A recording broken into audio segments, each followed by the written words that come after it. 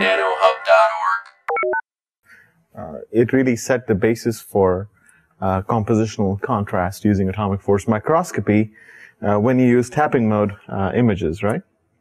And so the key uh, conclusions from uh, the lecture last time were um, the notion that every cantilever has multiple eigenmodes, right? And these happen at certain discrete frequencies.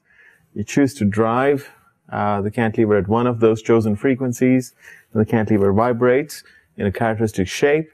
Uh, each peak you choose has its own equivalent stiffness depending on the shape of the deformation, the strain energy, and the eigenmode, and so on. And we talked about how you can try to figure out what's the equivalent stiffness of that mode. The good news is even though it's complicated, there are many eigenmodes. Once you choose a certain peak for operation, you can represent it by a point mass model with the appropriate uh, spring constant, and everything's okay. Now, um, with that in mind, we went ahead and started developing a analytical framework for understanding uh, what is phase contrast in tapping mode AFM, what it means. And we talked about the fact that it's very important to make a distinction between phase lag and phase lead in your AFM systems. Uh, has anyone of you had a chance to look at your AFM system to see if it plots phase lag or phase lead? Yeah? And tell you that, yes, of course. and it's phase lag, right? Not easy to figure out. I mean, you have to do this tuning curve and really sort it out pretty well. Uh, it's not easy. It's tricky. And if you don't do it, you don't know what, what you're seeing. You don't know what dark and bright spots mean in an image, right? Something so important. Uh, the key result was that there are two quantities that actually the phase is divided into sine of phase lag and cosine of phase lag, where phi is the phase lag. Uh, the sine of phase lag is connected to energy dissipation per cycle. As the tip comes and cycles and interacts with the sample, there's some net energy loss, which is related to sine of phase, sine of phase lag. And then there's another quantity related to cosine of phase lag, which is this quantity that we call the virial. Okay? We'll talk a little bit about, again, reminding you all what it really means, okay? Uh, any questions on what we did last time? The mathematics should be pretty clear. It's simply trigonometry. You multiply by sines and cosines and do the integrals over the time period. The underlying assumption in the theory was the tip oscillates sinusoidally. That's all, harmonically. So that was the key thing. Yes, Hank. Good question. Yeah. So let's say you had a processing software. Yeah. And you wanted to solve for the virial, per se. And you have FTS times the displacement. But in your images, you might not know FTS per se. Well, so what you would do is if you want to plot the virial, what you do is this. You plot cosine of phase lag uh, times stiffness. I mean, the observable is the phase lag and the amplitude and the Q and the K. So you so would use, is FTS times right. Okay, I see. Just the same way as what you're doing with the first equation, you're solving for E dissipation, E dis. Right? So those are two important things. Um, yeah, so the key thing is from what you observe in a tapping mode experiment, you can get numbers in terms of what's the energy dissipation each time the tip comes and interacts with the sample in picojoules or electron volts. It's amazing. If you have a chance, you should try to apply these formulas to convert your phase to energy dissipation. It's really, really worth uh, looking at the numbers you get. And the cosine of phi is related to uh, the virial, uh, as we talked about last time. So let's um, go back and again uh, look over what the physical meaning of energy dissipation and the virial are. Um, in our analysis, we assume the tip motion x of t takes the form a cosine omega t minus phi, where omega is the drive frequency, the frequency at which you're shaking it, which of course is going to be close to the natural frequency omega zero, if not exactly equal, because you want it to vibrate at resonance, right? So resonance happens when omega equals omega zero. All right. Uh, phi is the phase lag. That's why it's minus phi up there. All right. So what this means is the tip is oscillating as shown in the blue curve, x of t. Right? So x of t is this a cosine omega t minus phi. That's the blue curve on the top graph. Everyone okay with that? That's the blue curve in the top graph, okay? the x-axis here is actually not time, but omega t minus phi. Okay? So when omega t minus phi is zero, uh, you're at the very top, which is what I've shown there. So it's a cosine, basically, of omega t minus phi, okay? So the blue curve on top is simply cosine of omega t minus phi, alright? Now, that's how the tip is moving. And when the tip, when x becomes negative and goes down, is when it's approaching the sample, right? When, so what you're looking at is this motion, up and down, right?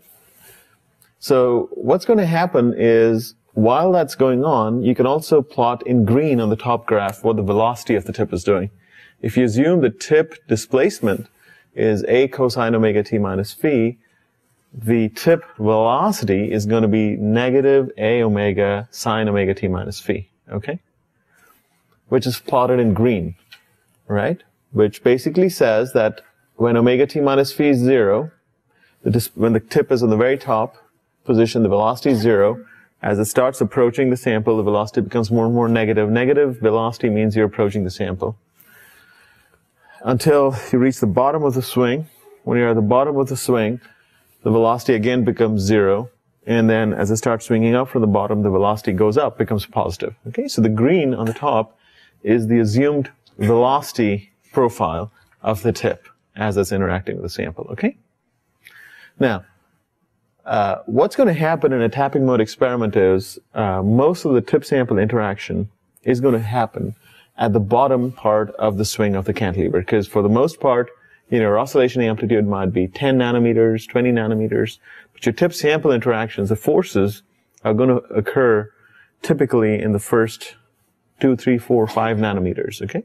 So what is happening is, when you do tapping mode, for the most part, the tip is not experiencing the interaction forces. It experiences the interaction forces only at the bottom of the wave form, right? When it comes close, close vicinity of the sample. So in this case, uh, I have uh, placed the sample at that solid horizontal line from which the D, D is the tip sample gap, the origin of D equal to zero is shown there, that solid. So which means that um, when D becomes negative is when you're indenting the sample. When D is positive, you're above the sample. So roughly, interaction forces will exist uh, in, a, in, a, in a range of uh, time period where the tip comes close to the sample or indents with the sample and so on. Okay? Now, uh, let us take a look at, if this is the situation, let us take a look at what is the history of tip sample interaction force. Okay, so in other words, uh, in the graph below, now we're plotting the tip sample interaction force. During, as the tip goes up and down like this, what forces is the tip feeling as it moves in time? Okay? Let us assume first that the interaction force is conservative. Now, all of you know what a conservative interaction force means. It's a force where the tip sample force depends only on the position of the tip, not on the velocity. Okay? Now, if the position of the tip is changing as shown by the blue graph, the sine wave shown on top, I hope you'll agree with me that the interaction force we're going to feel, the conservative interaction force, is going to follow a profile shown as blue in the graph below. Okay? Let me explain what's going on. At first, when the tip is approaching the sample, it's, it's swinging low. You're, you're coming down along the, the harmonic on the top. You're coming below. At first, you're going to experience an attractive force, right? Because the tip is approaching the sample, you have van der Waals forces. You're, you're, you're experiencing an attractive force. So, as you move forward into march forward in time, the interaction force experienced by the tip, shown in blue in the graph below, starts to dip means it becomes more negative as you're approaching. That means more and more van der Waals forces until you contact, and as you contact, the interaction force starts slowly becoming repulsive. So the blue curve starts pointing up and going up, right? And you press, you indent up to a certain point, and then you move away because it's a harmonic motion, right? As you move away, you follow the blue curve uh, on the right hand side, which shows the repulsive force decreases, and then you release from the surface, and you have van der Waals force and you move further away and there's no force anymore when you move further away from the sample. So the blue is what you would get if you had only conservative forces, attractive and repulsive. The most important thing is, please keep in mind, the blue curve, the history of conservative interaction force, is symmetric with respect to the center line shown there. Why? Because the motion you're assuming is harmonic, so comes in and moves away at the same rate. And the interaction force, conservative interaction force, only depends on the position of the tip. So, whether you're approaching or moving away, it should give you the same answer for the same position. Everyone with me on that? This is a very important thing. So, as you move forward in time, the position of the tip moves in, moves away, but as it moves in, moves away, at every instant of time, wherever, for the same position, whether it's approaching or moving away, it should experience the same conservative force, if it's a conservative force, okay? Conservative forces are van der forces, elasticity, and so on. Electrostatics also. So, very important point that if the interaction forces are conservative, the history of tip sample interaction force, this little interesting pulse that you see, is going to be symmetric about the center. Whether you move in or move away, the value of the force is going to be identical. Okay? Everyone with me? On the other hand, uh, you can have dissipative interactions between the tip and the sample as you're tapping, and there are a multitude of reasons for it. We've talked about this in the past. You could have viscoelasticity of the sample. You could have anelastic processes as you're punching the sample and moving away. Maybe you've caused dislocations and, you know, you're inducing defects in the crystal as you move away or move, you know, or you could have situations where as you touch, you've created some bonds, you move away, you're breaking some bonds. So any sort of irreversible process that now depends on the velocity. Whether you're moving in or moving away, you have different forces now. Okay? So these are now velocity dependent forces. If that happens, those forces will be something like what's shown in green. Why? Because they will depend on the direction, on the velocity. So you see, if you look up at the green curve on the top, the velocity is changing directions. You see that? At the bottom, the velocity is changing directions. Therefore, if you have a dissipative interaction force, it must also change directions because it depends on velocity. Okay? Which means a generic shape for the dissipative interactions is going to be as shown in green, which means it's going to be antisymmetric with respect to the center because as you approach a sample, the velocity is a certain direction. As you move away, velocity is the opposite direction, right? So it has to be antisymmetric. When you move in, move away, the directions of dissipative forces have to change. If they don't change, then it's a conservative force, okay? Very important. Which means that in reality, uh, if you assume that the tip sample interaction force consists of dissipative and conservative components, in reality, during one oscillation cycle, the interaction force is going to be as shown by the dotted line here. It's the sum of the two, right? So you can see that the history of tip sample interaction force during an oscillation cycle consists of a symmetric part and an asymmetric part superposed on each other. So it's kind of slightly skewed. The extent of skewness tells you the amount of dissipative interactions. If it's perfectly symmetric, then it's only conservative actions. Okay? Very important. All right. So now let's go back to, in the light of this graph, let's try to understand what we derived last time. We derived an expression for energy dissipated during one cycle of oscillation in tapping mode AFM and how you can uh, get that number in picojoules or in electron volts simply by knowing what the phase lag is and knowing what the spring constant is and the Q factor is and the amplitude is. Very simple, very important relationship. Ultimately, what it is, is the integral over the oscillation time period of the tip velocity times the tip sample interaction force, okay? Now, uh, the tip velocity is given by this a omega sine omega t minus phi, okay? Now, what I want you to realize is that uh, it's tip velocity times the tip sample interaction force, but because the tip velocity is sine omega t minus phi, uh, it only picks out, in this integral, remember, FTS consists of dissipative and conservative interactions, right? But keep in mind, conservative interactions are, um, are symmetric with respect to the center, right? Dissipative are asymmetric with respect to the center. So this term, sine omega t minus phi, if you look at it, is asymmetric with respect to the center, the bottom point. You see that? The green curve on top is asymmetric about that dotted line. So when you multiply a symmetric and an antisymmetric function, integrate over a time period, you get zero. On the other hand, you take an antisymmetric function, multiply with an antisymmetric function, then you get a non-zero integral, alright? So what happens in the energy dissipation term is, when you're multiplying the tip velocity with the tip sample interaction force, that product, when you integrate it, does not contain any conservative interaction force because conservative interaction forces are going to be symmetric about the uh, bottom position. As a result, what you get is simply the dissipative component of the force inside the integral, all right? Which is why the E dis is simply uh, a sine omega t times the dissipative interaction. That's why it's the dissipative interaction. The second term is the virial. The virial that we defined last time is um, is the following quantity is the integral over the time period of the tip position times the force it experiences. Okay, as simple as that. Again, the tip position is given by the blue curve, it's cosine omega t. So the tip position as a function of time is symmetric with respect to the bottom. So when you multiply it with respect to the interaction force, uh, you've got a symmetric function multiplied by its the product. The, only product that survives the integral as non-zero is when you multiply it with a symmetric part, symmetric with symmetric.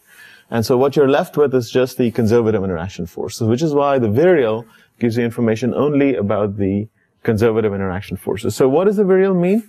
Um, the virial is basically saying, as this tip is oscillating over the oscillation cycle, I'm going to record the tip sample interaction force at every time instant. Uh, but I'm not looking at average interaction force. Rather, what I'm doing is, at every uh, instant of time, I record the position of the tip, I record the force it experiences, and I record the position times the force during the entire oscillation cycle, and that's what is the virial. So it is not the same as the average interaction force. It's sort of weighted by the position. In other words, um, forces that occur on the tip when the tip has moved at its extreme position are weighted more than than forces when it's in the middle of the oscillation. Okay, so it's a sort of a weighted moment, if you will, of conservative interaction forces. Okay. Um, it's not the average. It's some sort of a moment of um, the distribution. All right. So the last time we derived these very two important results shown here, that the energy dissipation is connected to sine of phase lag, and uh, this term is really the uh, the time average of the virial uh, equals is connected to the cosine of the phase lag. Okay, very important quantity. So when you have phase lag, if you actually um, if you actually um, split it into sine of phase lag and cosine of phase lag, you get two independent properties out of it, and you can really map uh, changes in conservative interactions or dissipative interactions over the samples just from one number phi. This is a very important issue because I think there is probably no paper out there that makes a distinction between sine of phase and cosine of phase. Everybody, when they talk of phase contrast, they just, first of all, I already showed you, most people don't even care or bother to say if it's phase lag or phase lead, which is so essential. You know, if you get a bright or a dark, you know, surface, how do you know which is more dissipation, less dissipation? That's one. Secondly, they don't even make the distinction between plotting sine of phase and cosine of phase. Just because you get, you know, if you want to do some quantitative understanding of if dark spots mean double dissipation compared to another area, if you want to know those kind of things, you got to plot sine of phase and cosine of phase, okay, separately. Very important. Nobody does it. So if you start doing it, this is, this is, we can start this movement to have, uh, to use, let's say, the duality of phase. It's a dual nature of phase, right? You get both information out of it. So let's make a compact here and all of you, when you take phase images, now let's do sine and cosine and you know, let's let this be the Purdue uh, school of thought, duality of phase. okay, so uh, we can now move forward to talking about a couple of other important results uh, using analytical approaches. See, what we're now doing is analytical approaches. You can do Veda, but at the end of the day, it's nice to have simple relations analytically that help us understand what's happening. So this is uh, an important result which um, uh, is very relevant also to when you do frequency modulated AFM. So this was originally divide, you know, derived by Lugan Wang uh, back in 1998, but it basically uses the same thing. It's the same derivation we did last time, but just the grouping of the terms in, is slightly different. That's all. Okay? And the question that's asked is this. It's a very simple question. Okay? So when the, you drive a cantilevered resonance, you bring it close to the sample. The question is, why does the amplitude decrease? Now, to all of us, it's like, of course, the amplitude is going to decrease. Why is it not going to decrease? Because it's interacting with the sample. But you ask the fundamental physics question, and you find again there are all kinds of mixed answers in the literature. Some people say, oh, as you interact with the sample, it's the dissipative interactions that reduce, that there's more damping somehow. As you're tapping on the sample, there's more dissipation, and that reduces the amplitude because you're taking energy away. Right? That's one group of answers. Another group of answers is, no, no, no, no, no, no, it's not dissipation.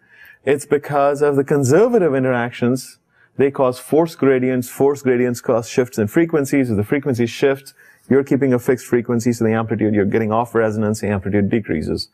Which is right. I'm telling you, for the longest time, people did not really understand, and so you found the words uh, damping and frequency shift used simultaneous to explain the reduction of amplitude. Why does amplitude? Well, some papers will write, you know, it's just that there's more dissipative forces, the cantilever, the oscillation gets more damped. There's some people who say, no, no, it's a force, conservative force gradients that shift the frequency. So it's a very basic question because at the end of the day, why is it important? Because I think you need to understand very well what does an image mean in tapping mode. What, what is an image, right? After all, what we do in tapping mode is keep amplitude constant.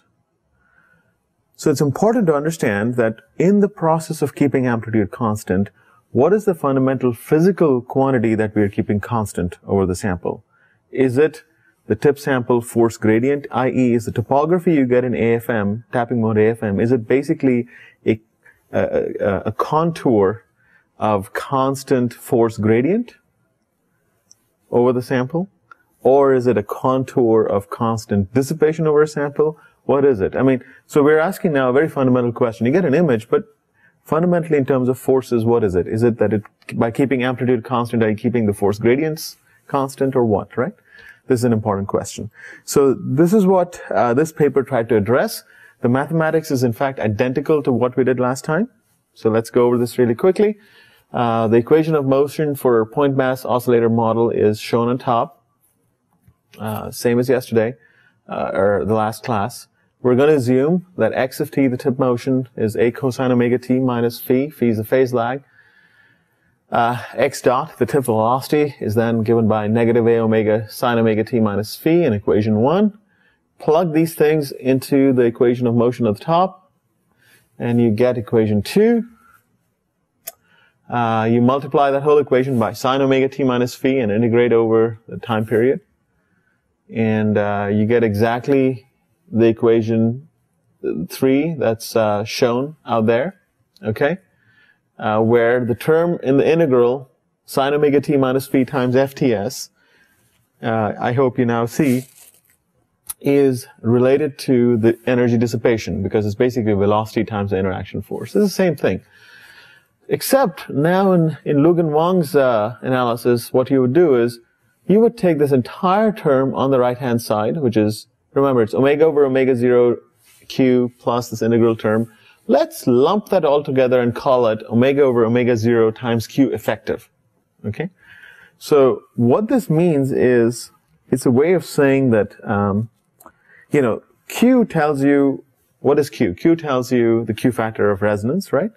Uh, when you do a tuning curve, how sharp it is. That q, if you think about it, is fundamentally a measure of how the energy of oscillation is dissipated in the surrounding medium into hydrodynamics, into viscous drag in the surrounding. Uh, this other term in the integral is connected to energy dissipation at the, at the tip sample interface. Okay? So the first term is dissipation as the whole cantilever oscillates in a viscous fluid. The second term in the integral is telling you about additional dissipation when the tip collides and moves away from the sample. Okay? So what Lugan Wang did here is he said, let's put the whole thing together. Dissipation is dissipation you know, let's not worry about the source of the dissipation. Let's lump everything together into a Q effective, right? In the bottom. So you equate the sum of these two to omega over omega zero times Q effective. Where Q effective is now a number that includes in it dissipation due to the standard Q plus the E dis term from the previous uh, uh, analysis. Okay, where 1 over Q effective is given by this, okay? So Q effective now includes dissipation due to both effects, uh, the tip sample interaction and due to viscous hydrodynamics of the cantilever. Equation 4, what you do is you take the same equation of motion multiplied by cosine omega t minus phi like we did last time, and again, you get an expression that's related to the virial now, except what again is done in uh, Wang's paper is he clumps everything together and says, well, let's replace the first term in equation 4 on the right-hand side by some omega effective squared, where omega effective squared is simply given as 1 minus this entire term out here. Okay? So, what, what they're saying now is, in this case, they're saying that uh, let us let us say that the tip sample interaction forces are somehow changing the effective natural frequency of the cantilever also. So just it's a grouping of terms. Let's call this omega f effective now. But now you have to keep in mind that this omega effective uh, depends on the interaction forces, right? It, it's it depends on what the properties are of the sample. Okay, both things. So when you combine the two things, uh, equ- equations three and four together, you get a very nice expression for what is the amplitude, steady state amplitude in terms of uh, omegas and so on. So this expression, the reason it's nice is if you go back a few lectures and we did um, the uh, transfer function of a cantilever driven by a force, right? Simple harmonic oscillator, what the transfer function is, what the amplitude and phase is. It takes the same form. This is the same form as a standard transfer function of a cantilever that's forced. And if you want to know how its amplitude changes with drive frequency, this is the same expression except in the denominator, you've got omega effective and Q effective now, which include in it tip sample interaction forces. Omega effective includes conservative interaction forces because it has a virial in it. Uh, Q effective includes the E dis term. So what this expression shows is that when you're far from a sample, when there's no interaction, omega effective is going to be equal to 1. So when you're, when there's no interaction force, omega effective is basically 1. Uh, and Q effective is going to be Q, right? So when you're far from a sample, you have certain amplitude A0. When you come close to the sample, omega effective starts changing because your virial, you start interacting with the sample and there's a virial, non-zero virial associated with it. There's a non-zero, and the Q effective starts changing due to the tip sample dissipation. And so the amplitude A now reduces because the denominator is increasing. Omega effective, Q effective are changing. And so the amplitude decreases. So this is a very nice result which basically shows that when you look at amplitude reduction, it's caused by both uh, tip sample dissipation and by tip sample conservative forces. What this means therefore is when you scan over a sample with a constant amplitude, you're not in fact, the image you generate is in fact not a contour of constant force gradient. It is, it is a contour uh, that mixes tip sample dissipation and conservative force gradients. It's a very fundamental uh, thing we're talking about here, okay? So very important result. Deep result actually, so.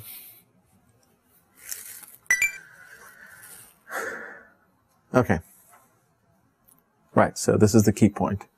All right, so one more very important um, analytical result to do is that of average force. Okay, so uh, what we are looking at here now is, oh, this is great. Um, you know, we have an idea of what phase means, um, but it's force microscopy and you're tapping on a sample. You always want to know how hard you're tapping on a sample, right?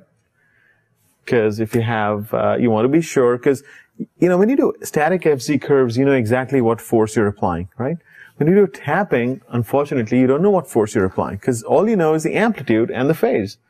What you don't know is, are you applying 10 nanonewtons? Are you applying 20 nanonewtons? By the way, when I say 10 nanonewtons in AFM is already a large force, do you know why I say that? 10 nanonewtons is a large force already? The pressure is extremely large. So 10 nanonewtons applied over a contact area of one nanometer squared 10 nanonewtons is 10 times 10 to the minus 9 divided by 1 nanometer squared is going to be 10 to the minus 18, right? So we're talking about 10 to the 10 Newton per meter squared, which is basically 1 gigapascal. Does anyone know what the yield stress of most uh, metals is? Uh, it's below a gigapascal. It's several hundred megapascal. So the point is the notion that you know 10 newtons of force is is is not much. Doesn't seem much. You know, it's 10 to the minus 8 newtons. You know what? But you're applying it in a very small area where hundreds of atoms, very high stress. And so you want to know if you're actually plastically deforming the sample. Are you causing irreversible damage to the sample? These are important things, especially if you do biological sample. So the notion, and so here's the point. When you do tapping mode is great. Everybody uses tapping mode for imaging, but nobody knows what force you apply in tapping mode because in tapping mode, you don't measure force directly. This is the problem. So the first effort at trying to get some idea of what force you apply is, let's say, let's try to find the average force. Now remember, as a function of time, if time is along this axis, and this is the tip sample interaction force, for the most part in a cycle, there's no interaction force, and then when you tap on a sample, there's this little pulse-like shape we talked about, which can be slightly asymmetric due to the dissipative interactions, right? So, so at first, what, what we would ideally like to know is what's the maximum force you're applying during an oscillation cycle, because the force changes like this, right? Uh, that's going to be hard to do. We'll talk about that a little bit. But even before that, it'll be useful to know what's the average value of this interaction force with the sample. That gives us a feeling for whether we're tapping too hard or, you know, or not. So this was a nice derivation that was uh, done uh, by, in this paper by uh, Alvaro San Paulo and Ricardo Garcia. And um, uh, basically, it uses the same equation that we derived in the previous page, okay? This, if you look at the expression for omega effective squared from the previous page, it involves the virial. Okay? Now, uh, the virial is shown in the integral uh, out here. Um, is integral a cosine omega t times fts. Okay?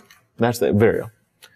Now, what they noticed is, look, this interaction force, right, occurs at the bottom of the swing, right? It happens at the bottom. At the bottom of the swing, uh, what is the tip position? So the tip position is doing this. At the bottom, it's interacting. What's the rough value of the tip position during the interaction? It's negative a, right? It's most of the interaction is happening at the bottom of the of the thing. It's, so while we can do this whole integral, the truth is the interaction forces are non-zero only when the tip position is at the very bottom. Very simple thing. So you can replace, so the whole integral can simply be replaced by taking a, replacing, so take a out and make cosine omega t minus phi equal to negative 1. Because that's when it's non-zero, the interaction force. So this integral, while it's done over 0 to 2 pi, for the most part, it's 0 because the interaction force is zero. But when the interaction force is non-zero, that happens when cosine omega t minus phi is nearly negative one at the bottom of swing.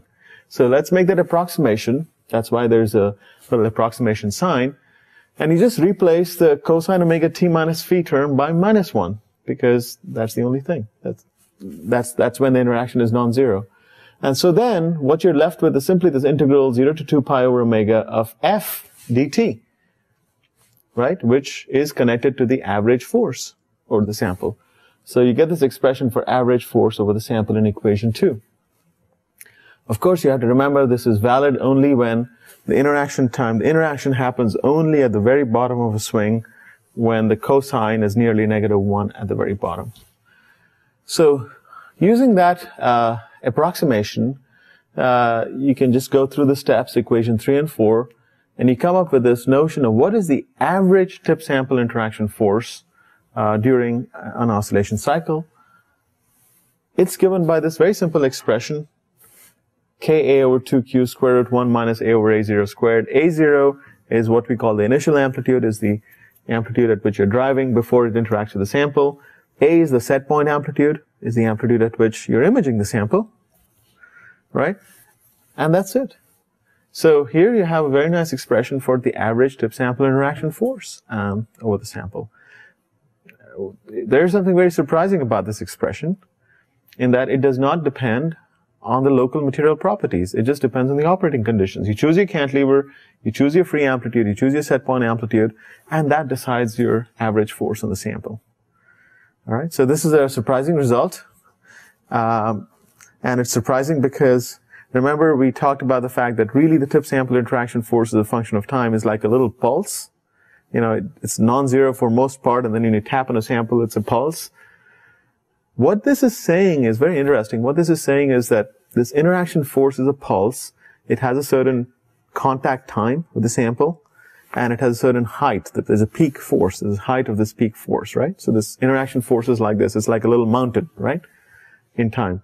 And it has a certain base and it has a certain height. What this is saying is, when you're in a soft sample, when you're tapping on a soft part of your sample, the contact time increases, the base of the mountain increases, but the height of the mountain decreases. So when you're tapping on a soft sample, you apply softer, less forces. Height decreases, but the contact time increases. When you're tapping on a hard sample, contact time decreases, but height increases. You apply larger forces in a manner that at least to first approximation, the area remains the same so that the mean value does not depend on the local forces, uh, local properties. Okay, very, very important, very, very critically important result. In fact, I encourage you to use this formula to get a feeling for what what's the average force you're applying on your sample. Okay? And hopefully you get answers more like less than one nanonewton as average force. Okay? Good.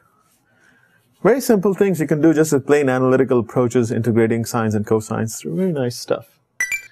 Okay. The other advantage of this is that most AFM systems allow you to measure the average force. Remember, as I said, in tapping mode AFM, what you do not measure is the real tip sample interaction force, how high, what the maximum force is, and all that. But this quantity, average force, is possible to measure because in an AFM system, you can actually measure the average deflection of the cantilever. Average bending deflection of the cantilever is connect times the spring constant gives you the average force. So this is important for two reasons that the average force can actually be um, um, the average force can actually be uh, measured. It's an observable in an AFM scan, and I encourage you to try and do it. Uh, you have to figure out what channel to get the mean deflection. Mean deflection times stiffness gives you the mean force. Uh, one more other important thing to tell you. Remember when we talked about the attractive repulsive regimes of imaging in tapping mode? I hope you remember the definition of attractive repulsive when it comes to tapping mode. In tapping mode, when we refer to attractive and repulsive regimes, we refer to oscillation regimes where the net interaction force is repulsive or the net interaction force is attractive, respectively. Okay?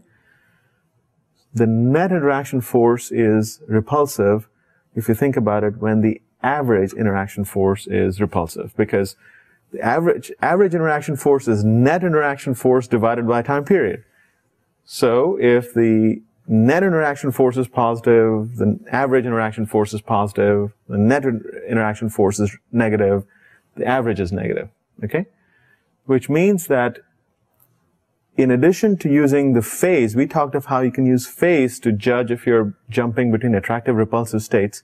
You can also use the average force, which you measure in an experiment, as a way to tell if you're in the net attractive or repulsive states. Again, this is something nobody does today let's as a group of people in Purdue AFM people, let's make a compact and move forward and try to map the average forces over sample also to confirm if you're indeed in the net attractive or net repulsive state. Why not try that? Nobody does it, but it's possible to do it.